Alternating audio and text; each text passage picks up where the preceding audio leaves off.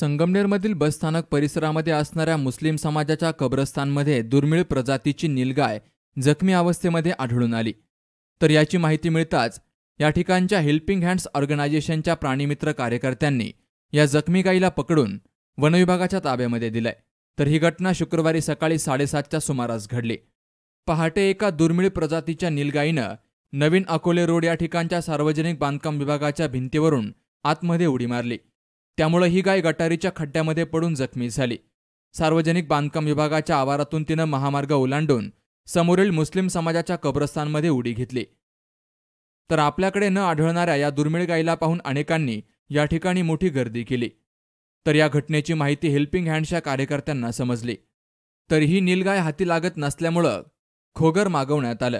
त्यानंतर या गायीला पकडण्यात आलं. याची माहिती वनविभाग आणि पोलीस विभागाला देण्यात आली. तर माहिती मिळताच वनविभागाच्या कर्मचारी आणि अधिकाऱ्यांनी या ठिकाणी धाव घेतली.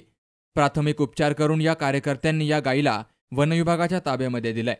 त्यानंतर या गायीला निंबाळे येथील रोपवाटिकेमध्ये नेण्यात आलं आणि पुढील उपचार करण्यात आले. Babasaheb Kadu C News Marathi Sangamner.